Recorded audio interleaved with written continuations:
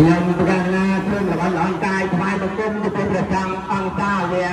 អញ្ចឹងក៏វាព្រះដំណើរព្រះព្រាដោយសិលក្តីគោរពដល់